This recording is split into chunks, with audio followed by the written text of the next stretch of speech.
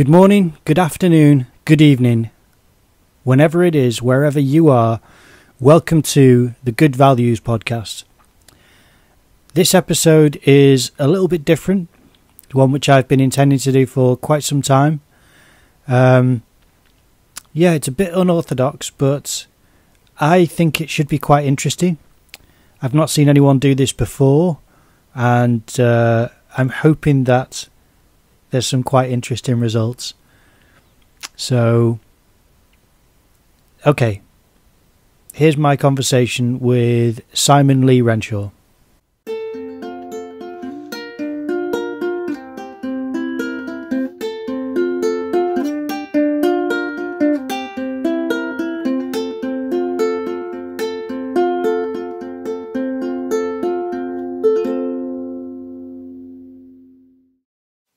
So, if you don't mind, would you introduce yourself for the audience?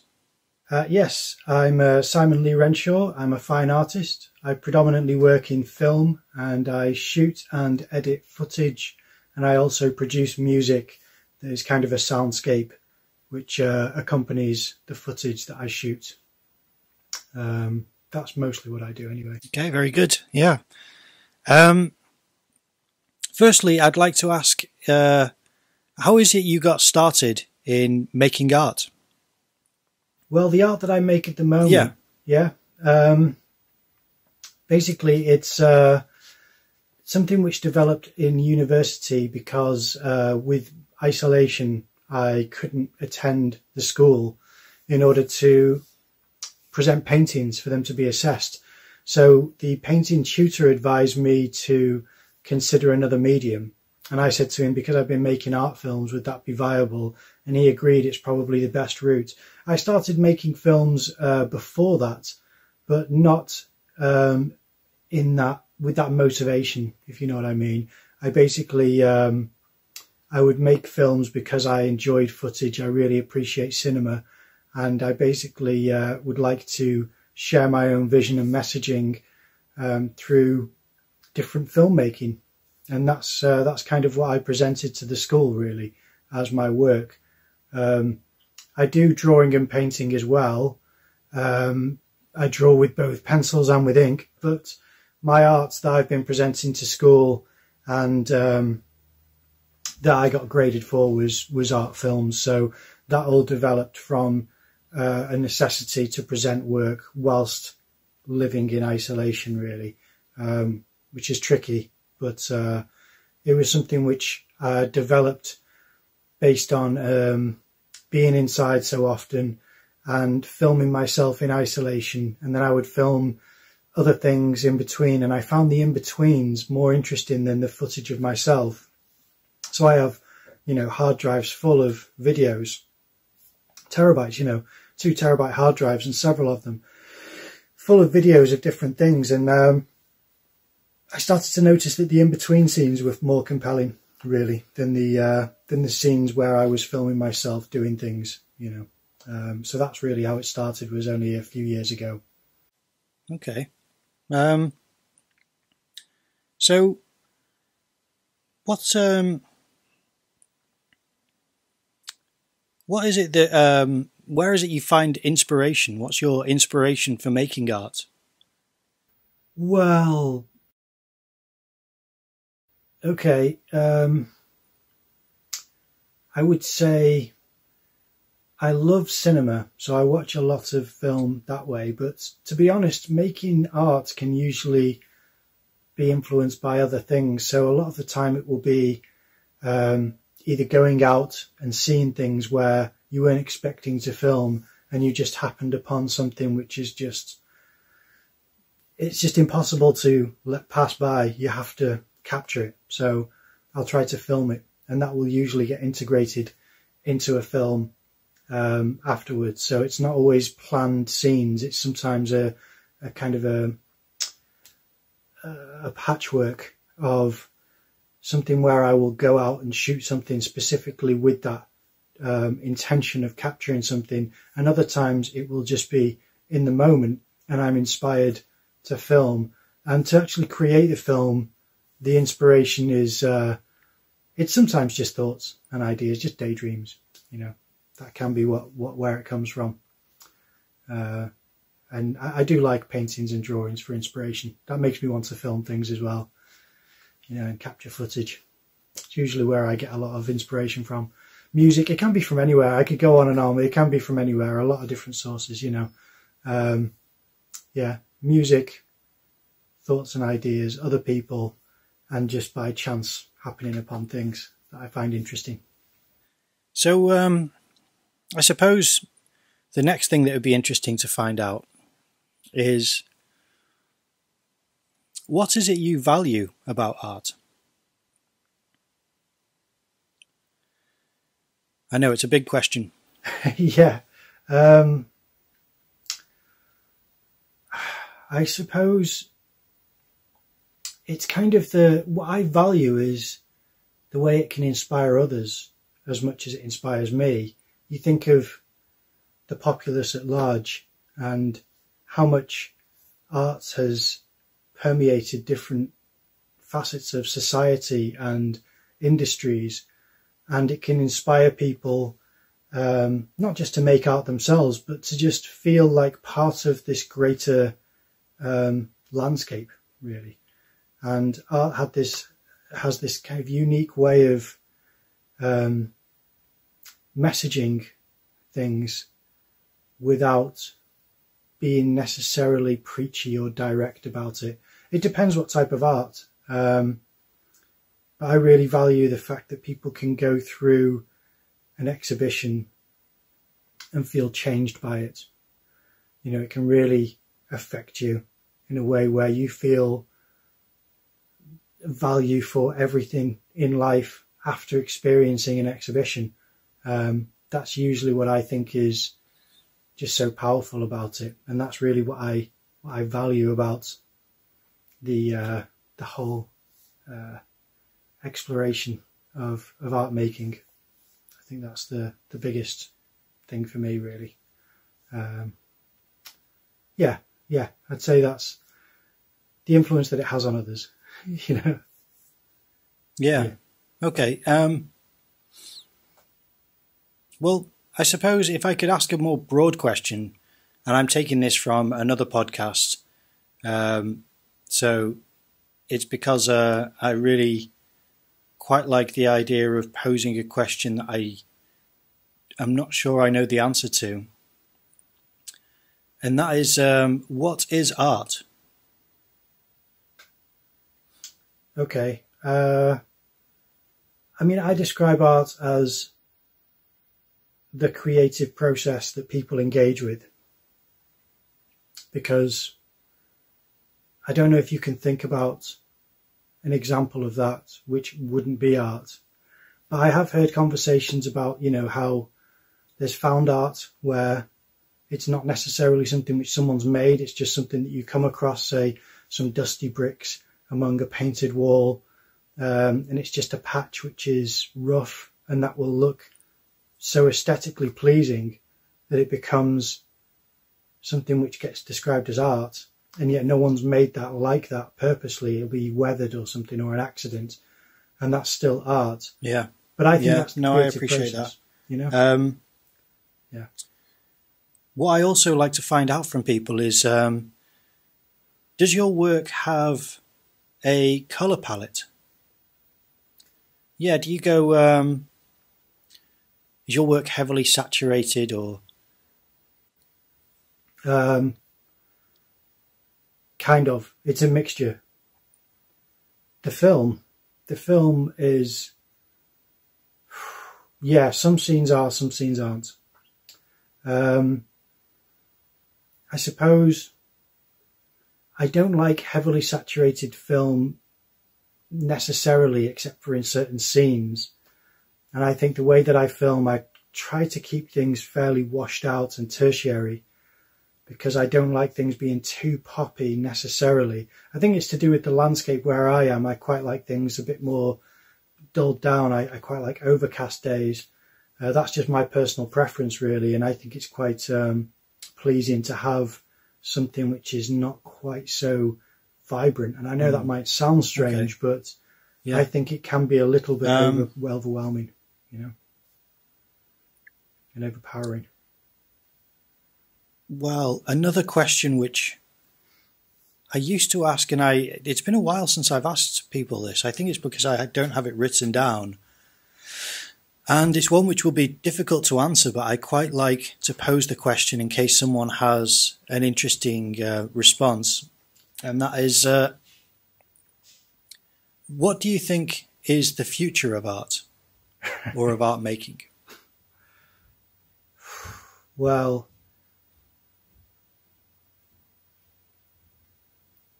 it's tricky. Um, there's obviously AI and there's NFTs, and we might have only seen part of the trajectory of NFTs because of different conversations that are suggesting it's been stunted or that it's whatever they people say about NFTs. We might only have seen the early parts of that. I'm not sure. I really don't know enough about it. And AI, I'm not really involved in, but I can imagine that will have uh, quite a heavy impact on it. But I also, I feel as though people are always going to harken back to old fashioned ways of making things, just like filmmakers do now, where they kind of romanticize the film grain and they try to emulate that digitally because um, practical effects and things like that are really still highly valued in um, in cinema. I think that's still got a big uh, appeal, just like how vinyl came full circle.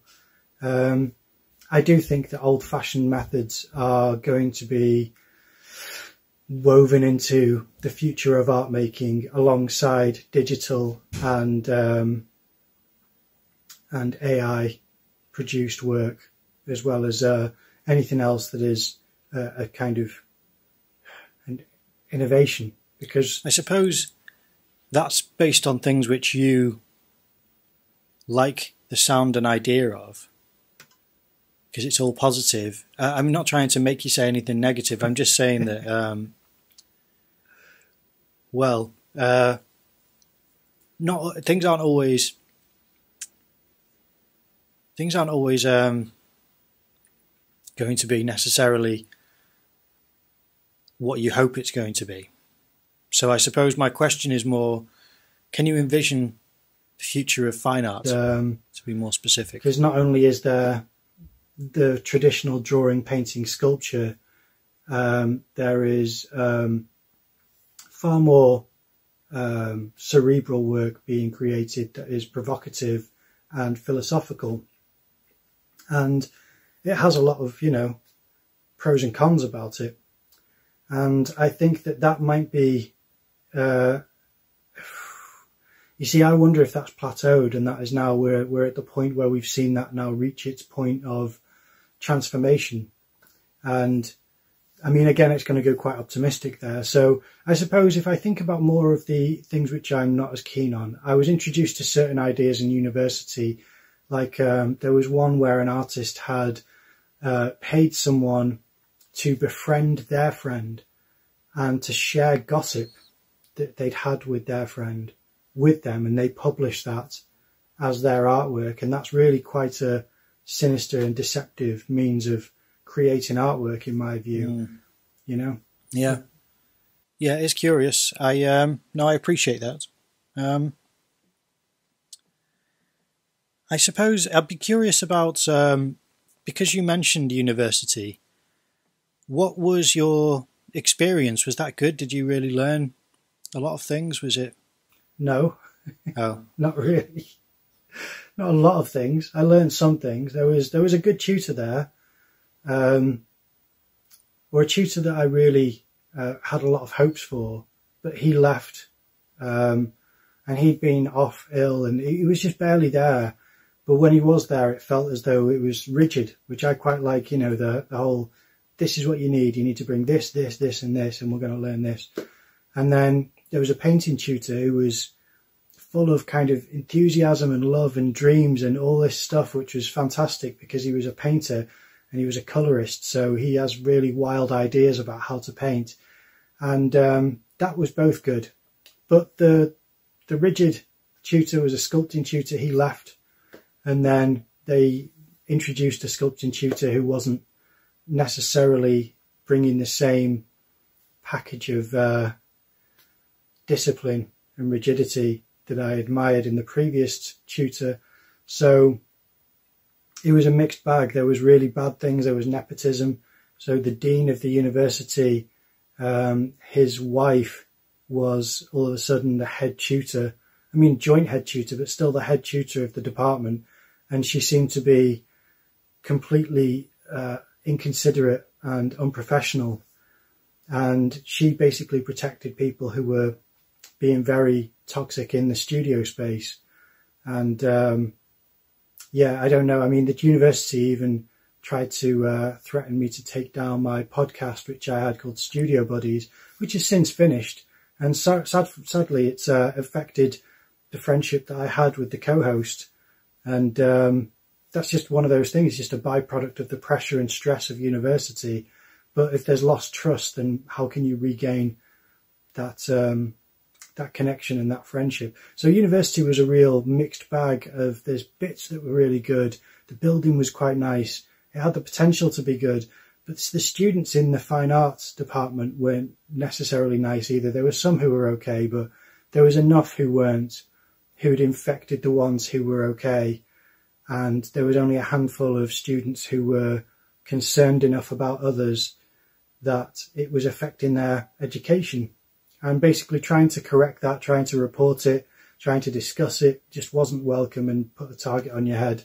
So it was a really negative um, space and environment for me to experience. Um, I'd start off making, you know, lots of drawings and trying to show, you know, my interests are here and here and here. And I'd do a landscape painting and I'd say, this is what I'm trying to do is, you know, if, kind of influenced by this and this. And then, but I would find that if I had the opportunity to make a film, then I would jump at that chance to try and make a film yeah. just to show that side of my abilities as well. I thought it'd be something which they could say, okay, you've got this, this and this. Let's see whatever, and they'd work with you, but they really didn't care about the individual. They'd just pick out words that you'd said and go, okay, you've said the word clinical. Let's what's see. The, uh, what's this that you're working on at the moment? Do okay, you have any yeah, projects that you're currently involved with? Yeah. Um, yeah. Okay. Well, um, at the moment, I'm collaborating with um, uh, an artist called uh, Petra Goetze, and she's actually been on your podcast. She was uh, episode three, I believe. I'm not sure. You, you tell me what, what, episode you can link it. But um, her and I are collaborating at the moment, and it's early days, but we've had meetings and discussions. We're doing a bit of networking, and um, we're starting to now create the work and um, keep the research in mind and try to uh, try to continue uh, the kind of momentum really.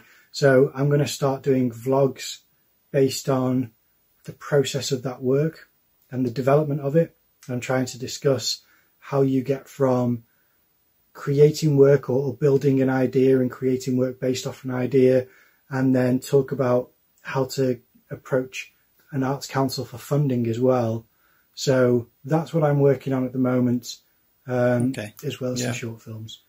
Um, Now, there are some questions which uh, I ask every guest on the podcast, and especially these uh, last three questions. I say three, the last one is um, it's a double barrel question, so it's kind of one question with two, uh, both sides of a coin, basically. Um, but the first one, not the double barrel, um, is what is the most beautiful thing you've seen today? um, Oh, right. Okay. Uh, I would say it's the clouds against the sky. It's very often the most beautiful thing I've seen. They just seem to have this warmth to the clouds where it's a mustard yellow, tints of brown, bits of grey, and then against a light blue sky, almost a pastel blue.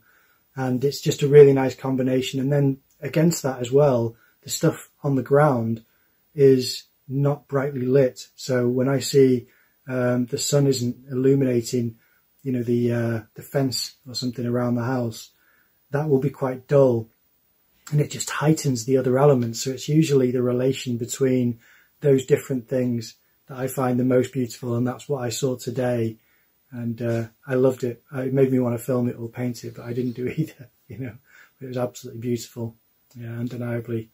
Um, something which I really remember clearly. You know, I feel as though I could paint that now from memory because it was uh, so impactful and things like that are, you know, still out there, still happening. It's just an ongoing artwork in the sky. You know, it's it's fantastic. So I always find uh, the clouds uh, in relation to the colour of the sky and the tones on the ground to be very, uh, very beautiful and very uh, influential to me. They resonate, you know, quite deeply with my uh, love for that, for that aesthetic. I think, you know, for that gorgeous magic that can occur naturally between colour and tone. I think that's what's the most mm. powerful thing to me is. No, it's good. No, yeah, I like that. That's good. Um, and the last question is, uh, what do you like and what don't you like about your own artwork?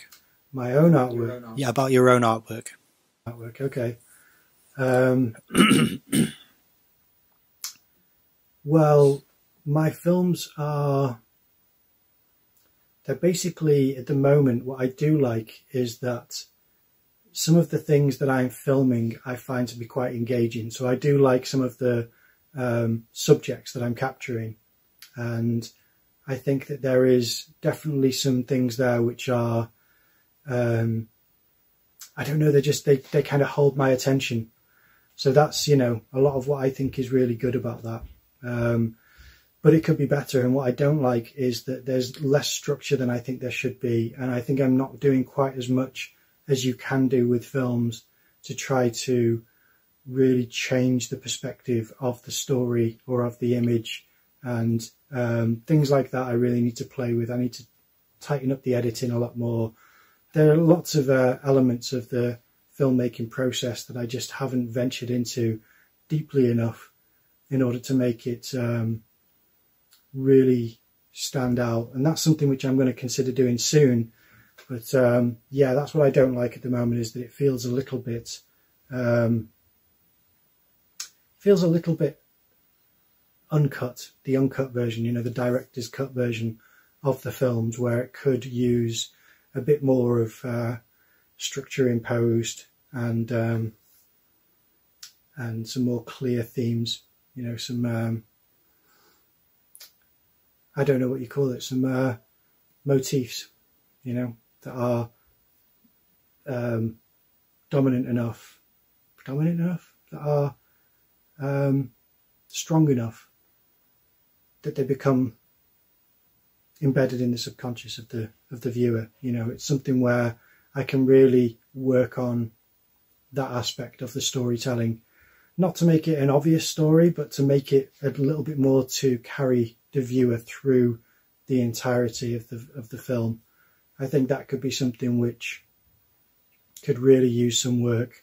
And uh, I, I, just don't appreciate some of the um,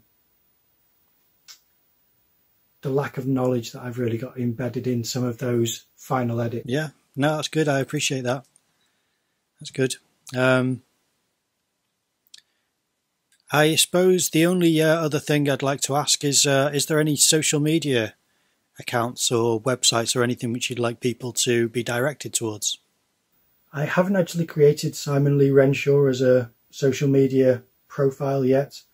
That is something which I need to do, and if I do, then I will definitely give you the links for it. But um, there's no Instagram, Facebook, Twitter, or anything like that. I've just not, I've just not engaged with that really. It's, it's not been something where I wanted to share it that way. I'm very much an in-person, old-fashioned practitioner at this point. Um, but potentially, if that gets updated, then we can always, uh, uh, I don't know, update the the information, and uh, I'll let you know. But currently, no, not really. No, there isn't really anything that I can think of. Um, not even an email address. There's no Simon Lee Renshaw email address. I maybe need to create that and to see if it's available. Okay. Yeah, you know. Well, I appreciate your time. Thank you very much for being on the podcast. And uh, thanks for having me. And yeah, everyone, check out the uh, the social media links that are uh, listed in the description below. Yeah, thank you. Okay, yeah. thanks very much. Bye. Bye. okay, that was admittedly a little bit strange. I thought for quite a while how to execute this idea. Um, should I be um, breaking the fourth wall and referring to what's happening or just play it straight? And I thought the best idea would be to pose the same questions as I would to any guest and to just leave the space that I thought would be acceptable.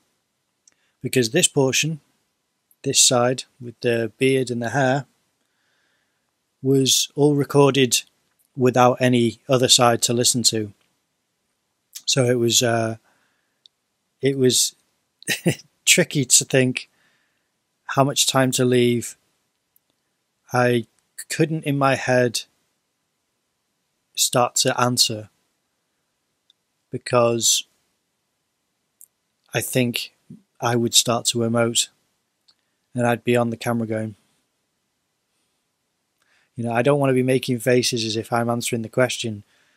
I just didn't think I could do it, so I just it's almost it's weird in my head. It was almost like la la la la la la la la la la la. I just think, just nod, and I'll try to fill this space. Um, yeah. So a bit of backstory is the reason why I've put this off for so long is one, it's a very weird and tricky idea. Two, I had another idea to do with my beard and long hair, which I thought I might as well line up at a similar time. And three, because I was uploading YouTube videos so regularly until recently, I was uploading nine videos a day. I mean, it's it's currently um, 4th of November uh, 2022.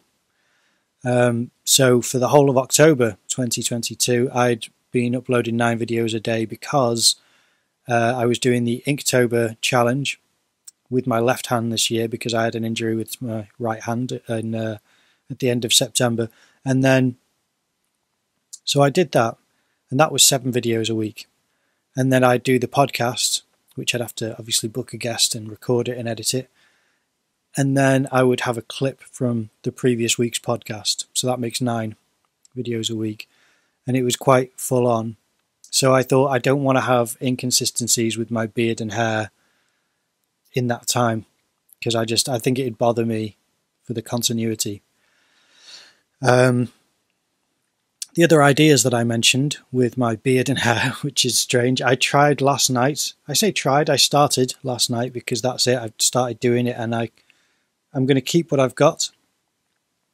Initially, I had this plan of doing several takes and whatever. I'll, I'll just explain it first. It's a strange um, performance that I thought of doing, and it's inspired by um, a 1966 film, I believe it is. It might be earlier, it might be 62. I'm trying to think. Um, it's a French film called Playtime, and uh, when I saw that, I thought I have to try to do something as I don't know, as kind of um, how do I explain it? The performance was kind of it wasn't natural. It was it wasn't played up into big performance, but it just had this quality to it where I thought I want to create that reality within my um, environment. As in a performance where you play it straight, you try to have certain elements of social interaction, and you hope that. I mean, this is not what the film did, but I my hopes were that it would um, start to reveal certain um, thoughts and uh, feelings about um, the human condition and um, certain traditions or just social norms that we that, that usually go unnoticed, I suppose. and that's something which I've not built into it. I just hope that it becomes um, a byproduct of the performance. So what I did last night was I um, arranged five different outfits for different characters. I got out a lot of um, furniture. I say a lot. For me, it's you know it was carrying a lot of furniture. It was um, about ten past one in the morning. I got a lot of lights. I had one camera. It was my mobile phone. And I basically had emptied out my mobile phone onto my PC so that I had enough space. I charged it up so that I had enough battery. I had the outfits, I had the lights, I had the uh, the furniture. I also had several props, um, things like a fake cigarette, a newspaper, um, glasses. Even though they're part of an outfit, they can kind of be props in a way. Um, ukulele. Uh, what else was there? Oh, and um, and I pour myself drinks of whiskey. I only did one drink of whiskey, and I don't know whether the rest of the performance, because until I shave and I cut my hair, the rest of the performance won't be complete. But this is what I'm doing and what I had to align with this idea um, is to ensure that certain things all matched up so that I could do it. And I now have the space on YouTube because I've been uploading so frequently. I'm leaving a bit of space and then I'm going to come back fresh with a bit of a different look and a different edit to the videos. Um, I've also got uh, this podcast down, which I wanted to do an interview um, of myself whilst I was uh, mid transformation. And um, the other thing was the weather conditions. It had to be still, it had to be not raining, and not especially cold so that I could have different outfits without being, um, you know, struggling. And I could see my breath last night, but it wasn't especially cold. If anything, I got quite warm. So it was fun. It was a lot of work. There were things that went wrong. Um, I'll do a video about it, not a podcast, but I'll do. I mean, I say not a podcast. I might do a podcast. I just think it'd be better suited to a YouTube video where I show some behind the scenes to an extent um, and discuss some of the things that went wrong, because I imagine that's just the nature of filming performances is that things just unforeseen issues occur, and that's what happened. Um, but yeah, I'm glad that I did it. I'm looking forward to stitching it all together. I need uh, three other elements because I only did two characters last night, and because um, I can't do too many characters with a beard and long hair. And yeah, I suppose the other um, the other thing that I wanted to discuss was that I uh, had intended on having my portrait drawn by a professional artist before I cut my hair or my beard, but to try and get them to be available as well, it was just too much to juggle at once. So, for the time being, it's just going to be whatever I can fit in. Um, it's midday now.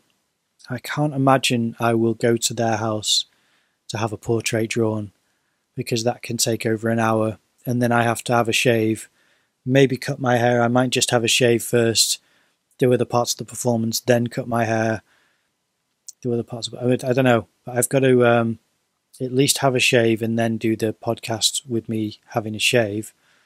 Um, I don't know. I'm still thinking about the mechanics of it, as you can see.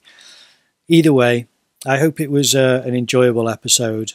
Um, I thought it'd be interesting for me to answer the questions that I ask other guests because when I ask the questions, I don't have my answers ready. And it, even now, I, I really don't know what I'm going to say when I answer these questions. Um, so, yeah, I mean, you know now. Uh, I don't know at this point what's been said. Um, but yeah, for me, it's all a bit unknown. So, yeah, I thought it'd be a fun idea. I hope it's worked out okay. Um, I have some exciting guests ready in the future. I have interviewed on Monday, no, was it Tuesday this week? Tuesday this week, I interviewed a uh, photographer, a professional photographer, and a conservationist. And it's going to be split into two different podcasts and also released as one giant podcast.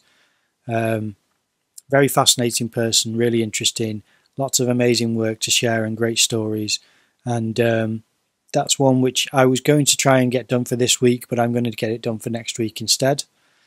I also have been in talks with Jared Muralt on because I found him on Instagram initially.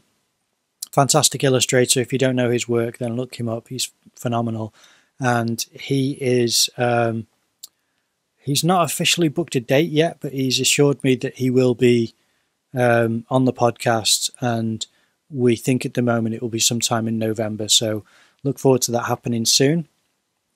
Aside from that, I have. Uh, a guest that I used to um, see at a, an art academy that I joined before going to university. And she was very highly skilled.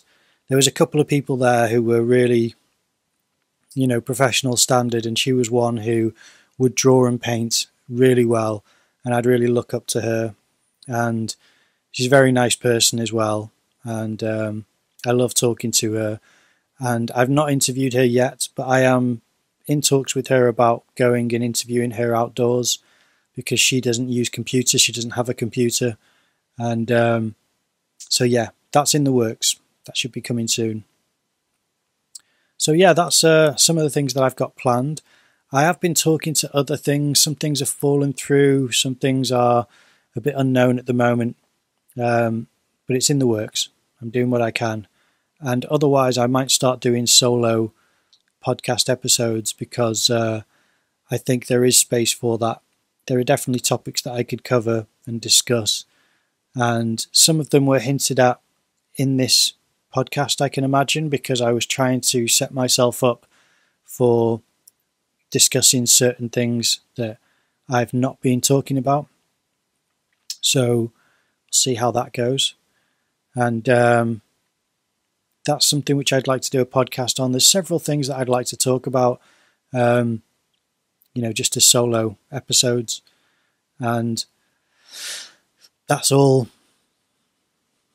That's all uh, yet to be done. So we'll see how it goes.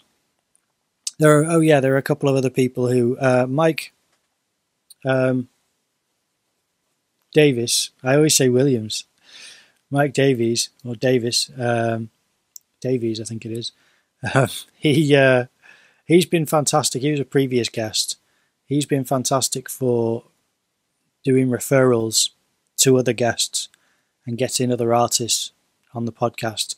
It was thanks to him that I had uh, Sarah Williams, and I've also got a couple of other people, um, hopefully that are going to be guests at some point soon as well. So I look forward to that. I hope you enjoyed it. Um, thank you very much for watching. Please leave a like, comment down below, subscribe to the channel, ring the notification bell, share this with any friends or family that you think might enjoy it. Um, thank you very much for watching, and I will see you in the next episode.